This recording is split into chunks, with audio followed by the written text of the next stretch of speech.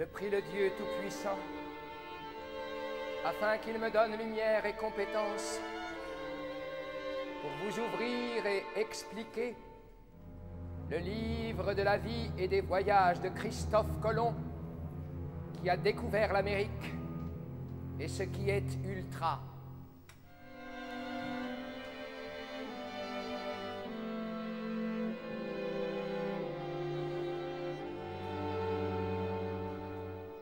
Car ce n'est pas lui seulement, ce sont tous les hommes qui ont la vocation de l'autre monde et de cette rive ultérieure que plaise à la grâce divine de nous faire atteindre.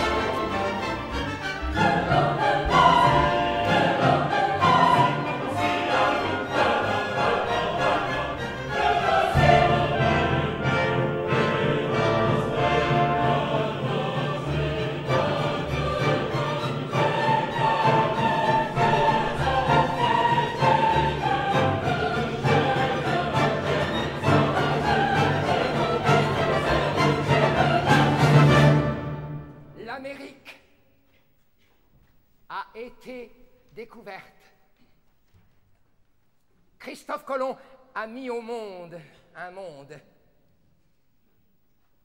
Mais ce ne fut pas une petite affaire. Le livre vous le dira tout à l'heure. Et ce ne fut pas non plus sans douleur. C'est au nom d'une exigence transcendante qu'il s'était mis en route. À lui aussi, quelqu'un avait donné de l'espoir, lui racontant de belles choses, monts et merveilles. Et maintenant, terre et ciel, pleurez sur moi, s'écrie le navigateur. Non pas, porte-Christ. N'attends pas qu'il s'attendrisse sur ton compte. Tu as reçu ta récompense. Le temps de l'épreuve est venu. Des mots vont t'entourer dont tu ne sauras pas le nombre. De grandes déceptions vont être réservées aux triomphateurs, et chaque nouveau voyage les aggrave. Les nouvelles terres n'ont pas rapporté d'or, à peine une poignée de perles. Les sauvages, traités durement, ont massacré les envahisseurs, provoquant d'affreuses représailles. Pour travailler cette terre malsaine, il a fallu restaurer l'esclavage. Cependant, Colomb erra confusément, comme égaré au milieu de ces îles nouvelles. Et c'est comme sans savoir qu'il touche enfin au continent. Le nombre de ses ennemis s'accroît avec la méfiance des autorités. Le temps de l'épreuve est venu. En Espagne, le roi réunit ses conseillers pour savoir ce qu'il doit faire. Voici le roi d'Espagne avec les trois hommes sages. Silence, tous,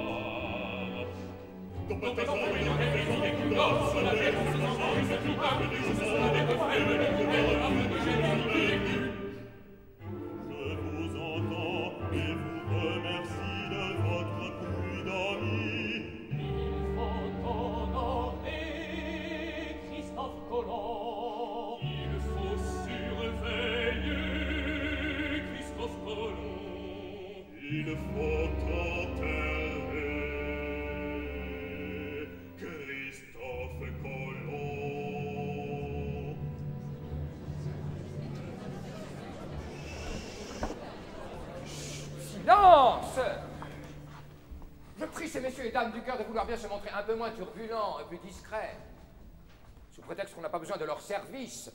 Dans la scène qui précède, pas plus probablement que dans celle-ci qui va commencer. Et croyez-vous que les gens soient restés bien sages et immobiles Aussi bien en Espagne qu'en Amérique, cependant qu'arrivait, se propageait aux quatre coins de la Terre la prodigieuse nouvelle de la découverte de Christophe Colomb? Pourquoi parler d'Amérique? Il n'y a pas encore d'Amérique. Je vous demande pardon, il y a une Amérique dans la nuit. Et le pied de Christophe Colomb l'a fait trembler d'un bout à l'autre. Tout le monde bougeait. Tout le monde, des deux côtés, essayait de communiquer. La vérité est que ces messieurs et dames du cœur sont mécontents. Et pourquoi donc sont-ils mécontents? Mais tout le monde s'attendait à une grande scène triomphale qui aurait représenté le retour de Christophe Colomb en Espagne et qui aurait comporté de magnifiques développements pittoresques et musicaux. Hein? Ce retour avec les costumes, l'ambiance de grenade conquise, les cloches, les trompettes, les fruits nouveaux, les sauvages emplumés et leur majesté qui reçoivent gracieusement Christophe Colomb. Il courbe le genou devant le trône et leur fait hommage d'un monde nouveau.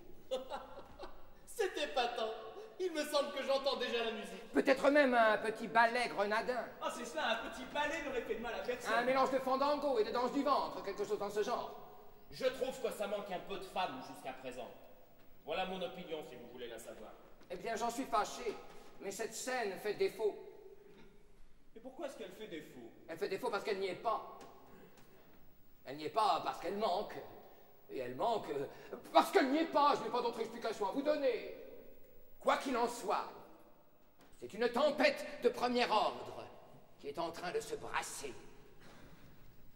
C'est à cette page que je rouvre le livre. Attention. À son troisième voyage, Christophe Colomb fut renvoyé en Espagne par le bonhomme que le roi d'Espagne lui avait substitué dans ses pouvoirs prisonnier et enchaîné. L'image devant vous représente le fond d'un bateau.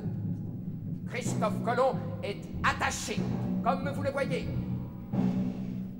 Tout autour, c'est la nuit et la tempête sur l'abîme atlantique. Silence Laissez-moi parler Tout autour de lui, c'est la nuit et la tempête sur l'abîme. Christophe Colomb est attaché à la racine même du bateau. Je veux dire, dans la cale, au pied du grand mât. Vous voyez autour de lui la membrure et la charpente du bateau, pareil aux côtes de la baleine qui engloutit Jonas. Le commandant du navire vient rendre visite à Christophe Colomb. Avec lui, derrière lui, il y a le cuisinier. Un drôle de cuisinier. Vous savez, on ne trouvait personne pour river les fers de Christophe Colomb. C'est un cuisinier qui s'en chargea. Voilà le cuisinier. On me dirait qu'une paire de cornes se cache sous ce bonnet et que ses pieds sont fourchus. Que je n'en serais pas autrement surpris.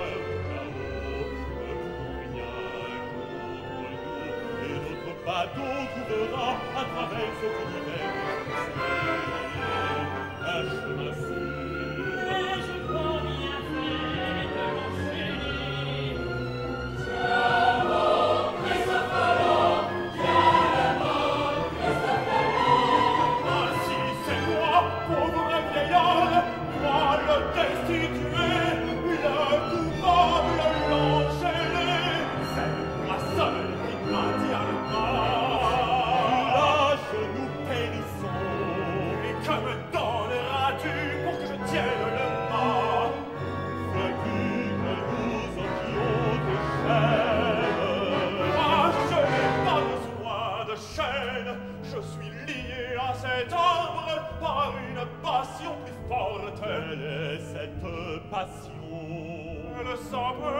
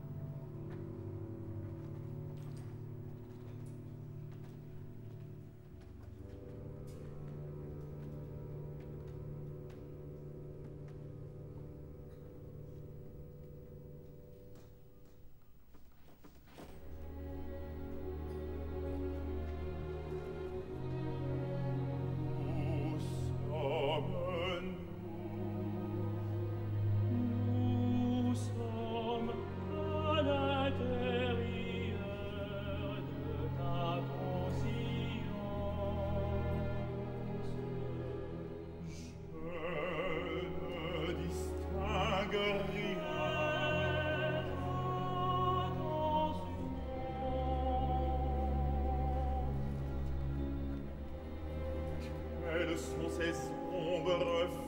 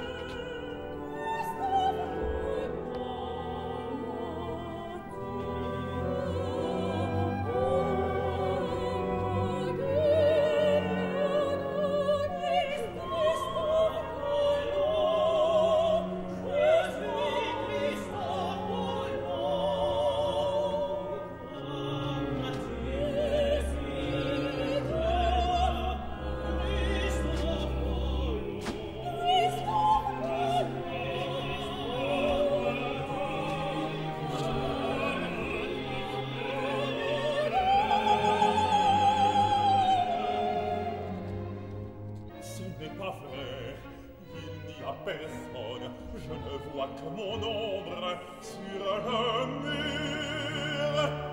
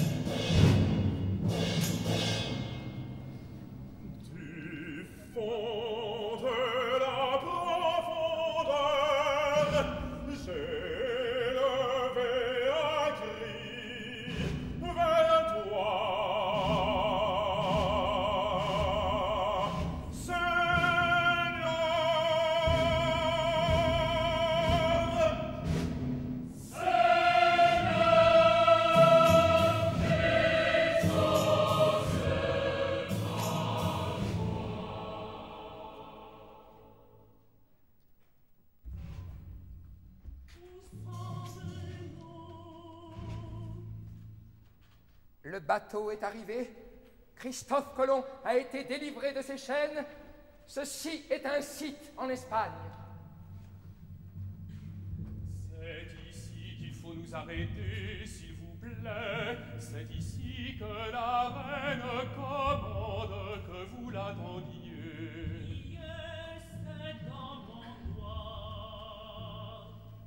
C'est de la part de la reine Isabelle quelqu'un qu'elle a envoyé à Christophe Colomb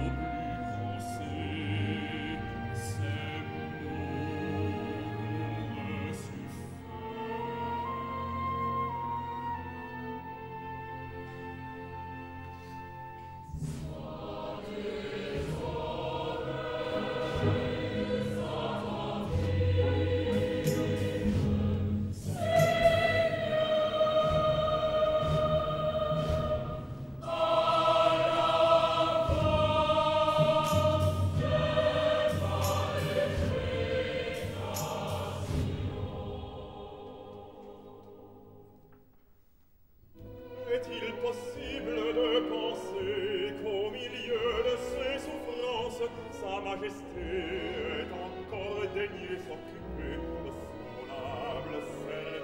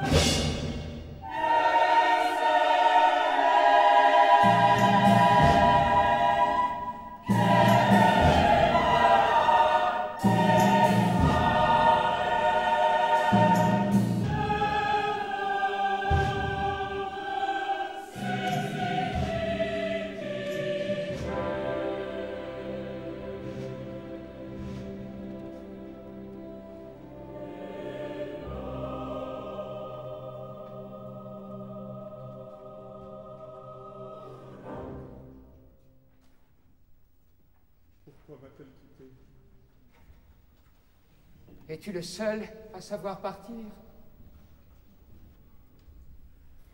Es-tu le seul à désirer? Étais-tu le seul à nourrir ce désir d'un autre monde? Celui-là est-il si beau? Le chemin royal que tu as déroulé sous ses pieds, comment ne l'aurait-elle pas suivi? Si ce désir qui me dévore le cœur, elle l'a connu. Elle n'a connu qu'une seule chose. Quelle chose Dieu qui ne se laisse pas arrêter par les distances temporelles avait remis ton salut entre ses mains et la clé de cette âme violente. Dieu, à elle seule, avait remis la clé de ce cœur dur.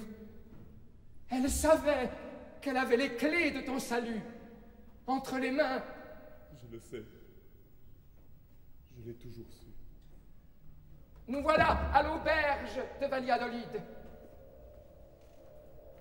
Celle-là même où Christophe Colomb se trouvait avant d'entreprendre ses voyages. Il est vieux. Il est malade. Il va mourir bientôt. Le vieillard a le licou de sa mule autour du bras. C'est son seul bien. Il a peur qu'on la lui vole. Il déballe son pauvre bagage. Qu'est-ce qu'il y a dans le coffre? Des livres, des papiers, un portrait de femme. Il y a encore quelque chose qu'il cherche tout au fond des chaînes.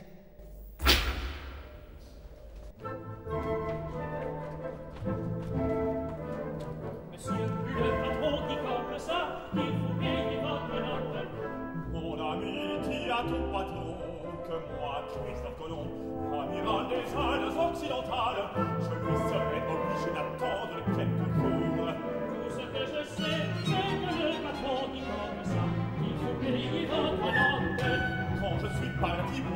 mes voyages, les bateaux voulaient me tuer, Et je les ai priés d'attendre trois jours. Ils m'ont attendu trois jours, j'ai découvert un monde nouveau.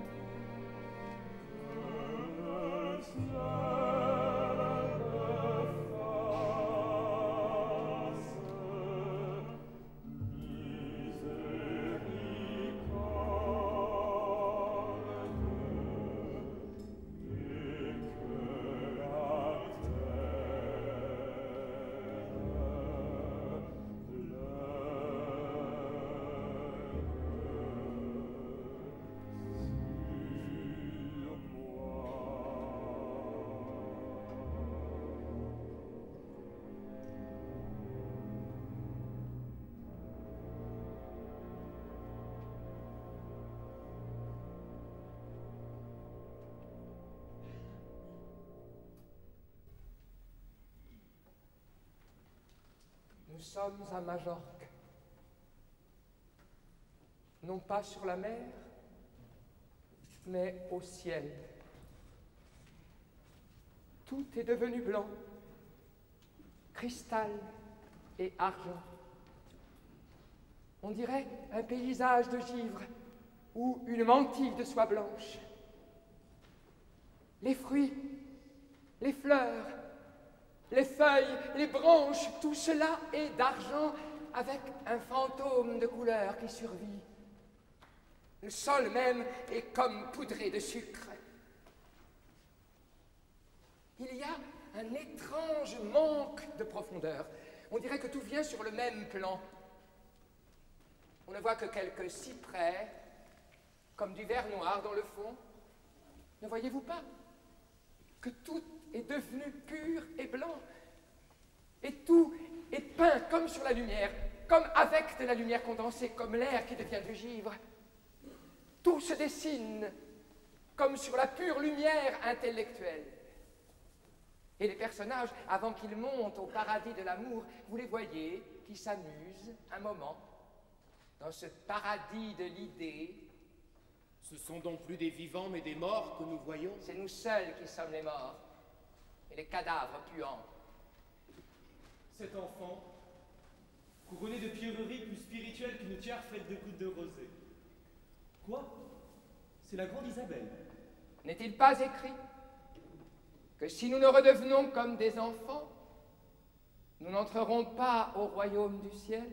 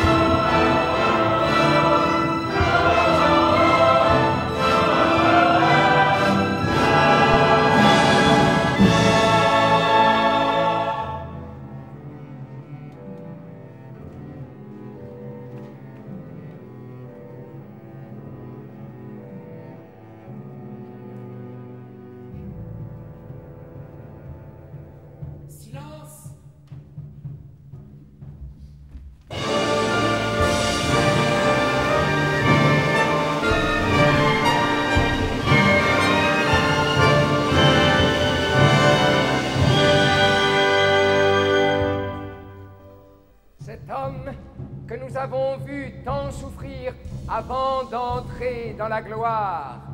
Sachez maintenant qui il est et apprenons du livre ce qu'il a mis en route.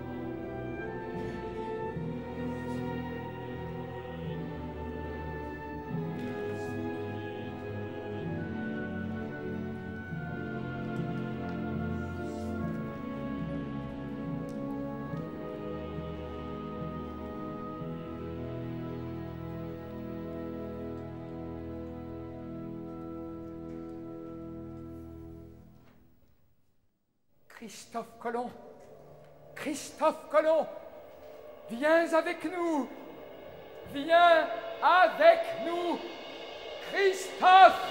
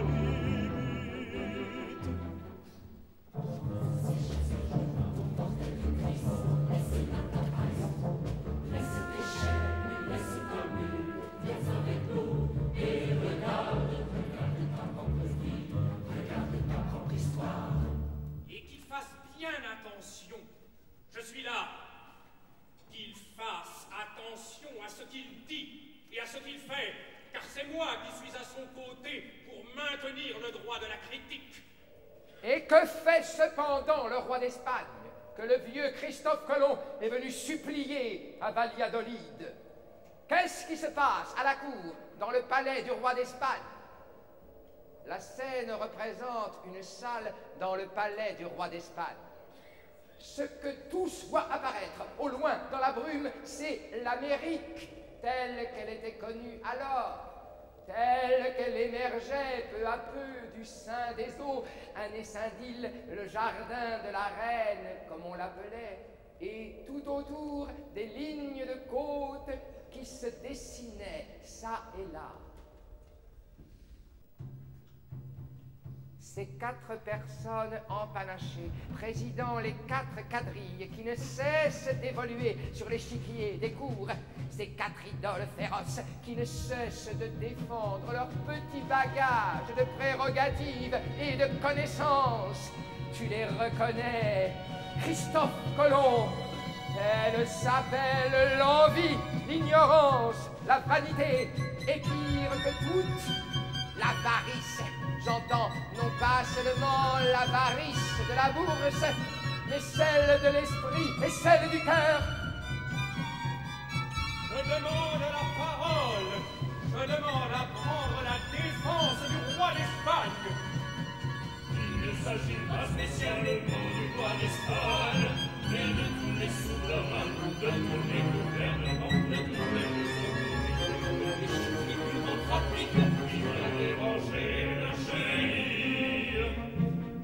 aurait fait autant pour Colomb que Ferdinand avec Isabelle Qui aurait nommé amiral et vice-roi. Cet inconnu cet aventurier, ce métèque, qui lui a donné ses bateaux, ses marins et son argent?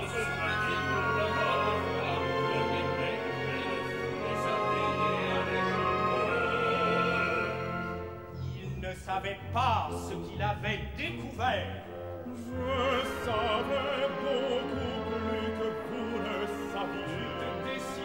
à parler C'est à toi que je m'adresse, Christophe Colomb. Charlatan, ignorant, halluciné, marchand d'esclaves, menteur, révolté, incapable, calomniateur. Pourquoi es-tu venu déranger l'Espagne de sa vocation et de toutes ses traditions respectables pourquoi l'as-tu attiré vers l'autre monde. Pourquoi es-tu venu déranger l'Europe de son petit travail? Ce n'est pas d'être enchaîné seulement que tu méritais, c'est d'être fusillé. Toutes ces ces illusions, ces soupçons, ces mensonges, sa jalousie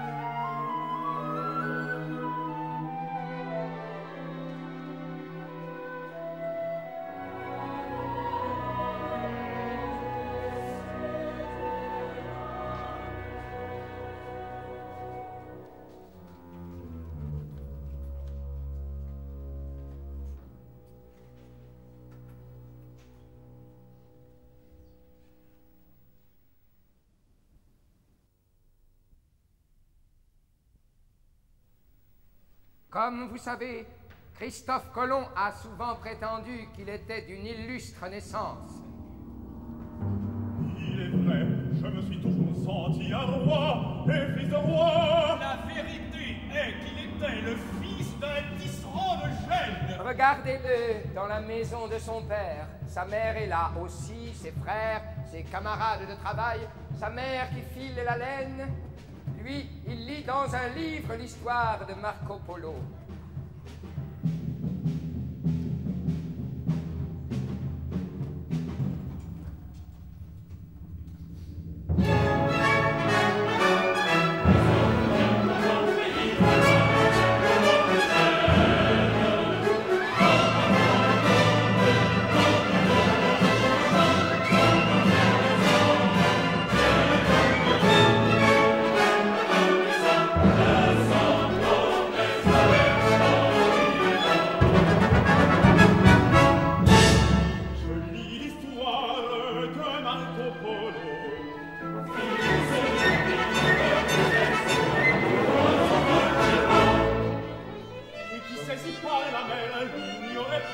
on goes round.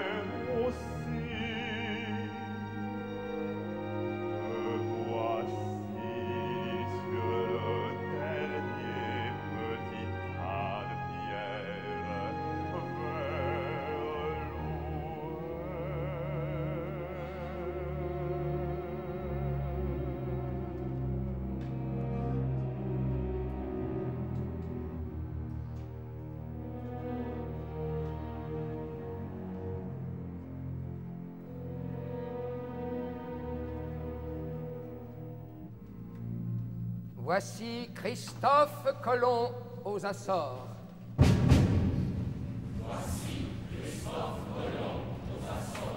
Là, sur le rivage, il rencontre une épave. Attaché à une épave, un vieux marin presque mort.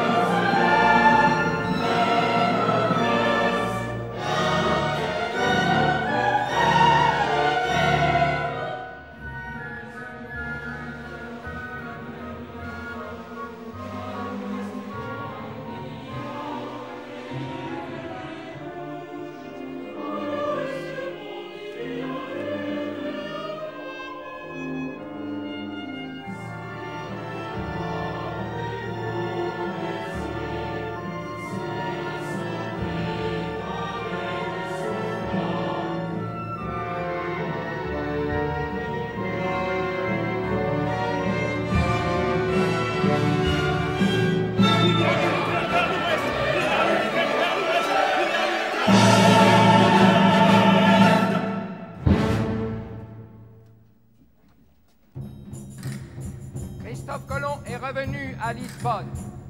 Ses projets ne rencontrent partout que le scepticisme et l'ironie. Il fait des affaires, il participe à une entreprise de navigation, il se marie, mais ses affaires ne sont pas bonnes. Il a mangé la dot de sa femme. Le voici à la chambre de commerce de Lisbonne où ses créanciers l'ont convoqué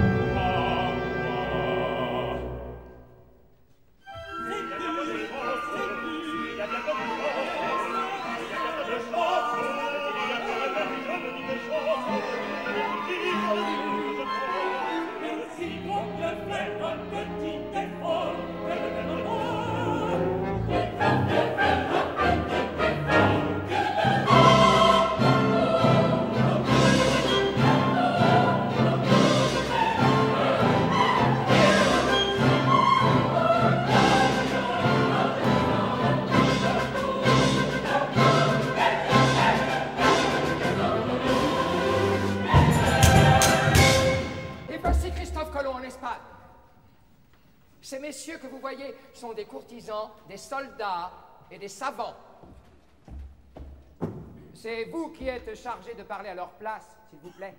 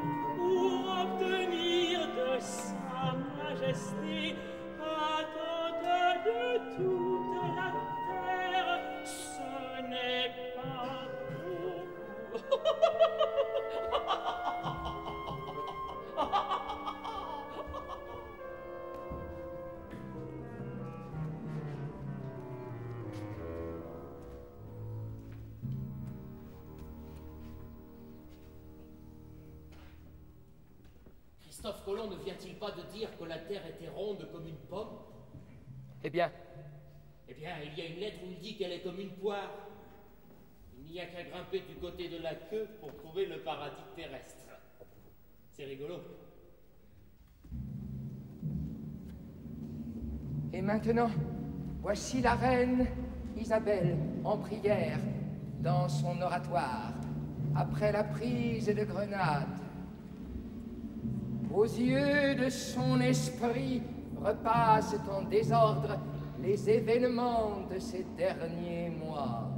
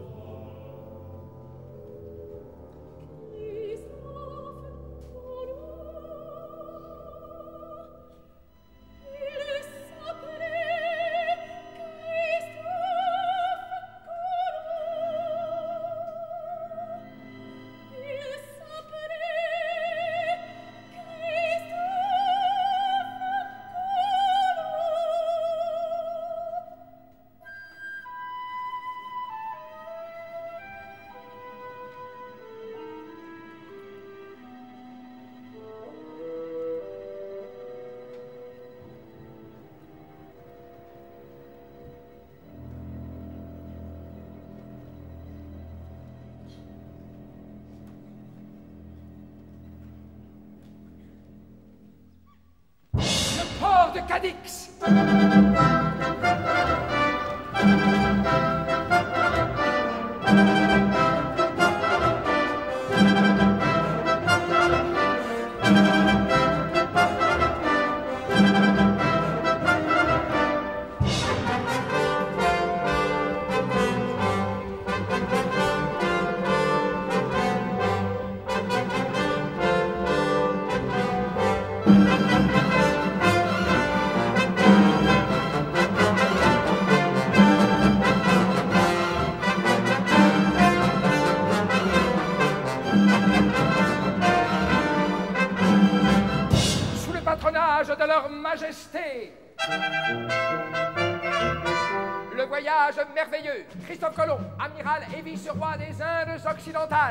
S'adresse aux navigateurs de Palos. Embarquez-vous sur les trois bords de Caravelle, la Santa Maria, la Nina, la Pinta, avec Martin Alonso Pinzon et Vincent Yanez Pinzon, navigateurs d'Espagne. Venez tous vous inscrire. Ne laissez pas les richesses des Indes aux Portugais.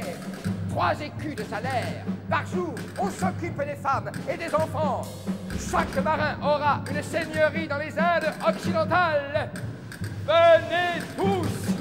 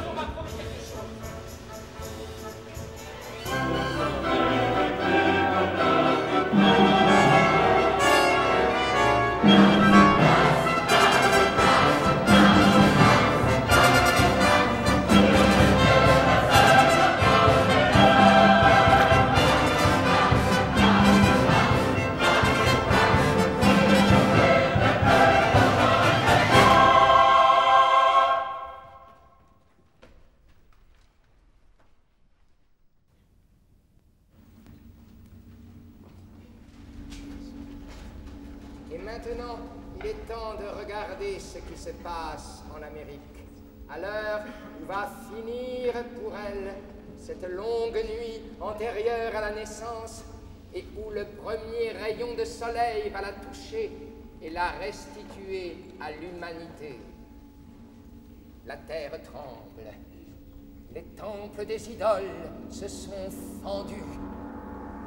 Vitzli Putzli est tombé, la face contre terre, et voici les affreux dieux de sang et de ténèbres qui se réunissent avec inquiétude sur la plage pour voir arriver les caravelles.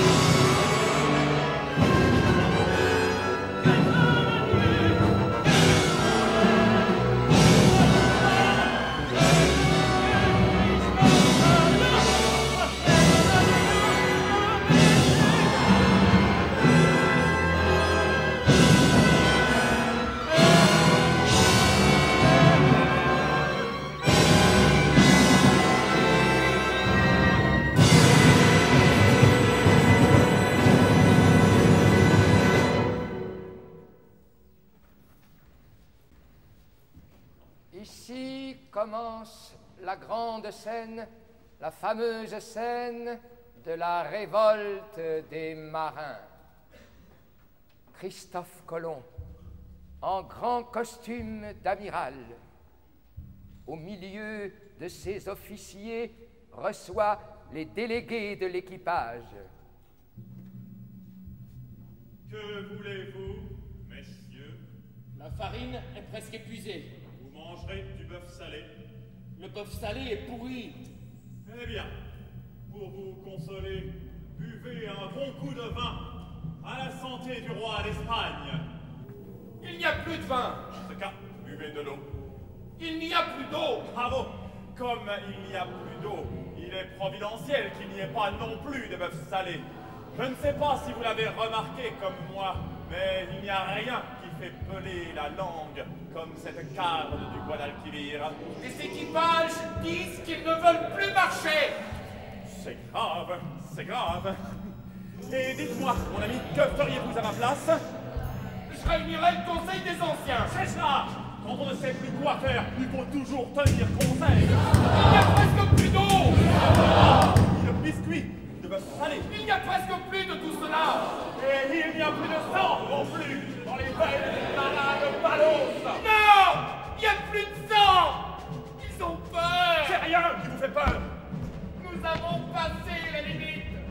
Après laquelle il n'y a plus de limite. Il n'y a plus de terre. Il n'y a plus de mer. Il n'y a plus rien.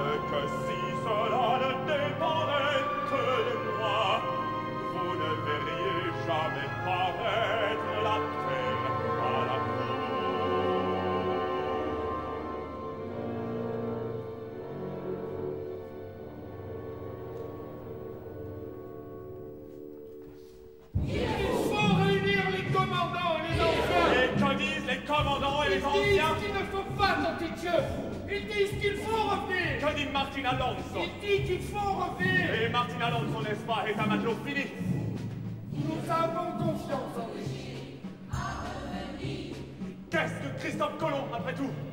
Un fou, un rêveur, un sans-patrie, un illuminé, un tailleur, un ignorant, un gardeur de matelas Voilà dans quel main vous vous trouvez Nous avons confiance dans Martin Alonso Pizza. Vous avez peur, mais si vous saviez ce que je sais, vous n'auriez plus peur encore Ah non, mais qu'y a-t-il de plus? Depuis hier, la boussole s'est affolée, elle tourne comme un coton, il n'y a plus de nord pour elle C'est ce que je disais. Il n'y a plus rien. Notre-Dame de Valence est pitié. Alors j'ai jeté à la mer cette petite boîte ridicule Vous avez jeté la boussole à la mer. Il me reste le soleil Amiral, nous vous prions tous de retourner les bateaux et de revenir. Il faut revenir. Il faut revenir. Il faut revenir. Mais qui vous empêche de revenir? Il n'y a que moi Il n'y a que ce seul homme ici qui veut passer outre Qui vous empêche de le jeter à la mer? Camarades, jetez-vous tous à genoux et suppliez notre amiral de revenir. Il faut revenir. Il faut revenir. Il faut revenir. L'homme humain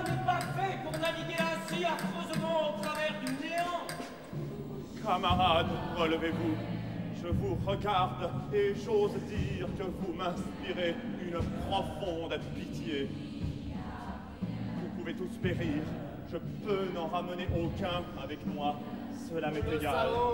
Et je dirais davantage que je meurs moi-même, que toutes les malédictions s'accumulent sur moi, pourvu touche cette rive ultérieure vers laquelle je tends la main et je remercie Dieu. Nous le remercions avec vous. Oui, il faut le remercier avec moi d'être tellement parti que nous ne reviendrons plus jamais. Et nous voulons revenir. Cela fait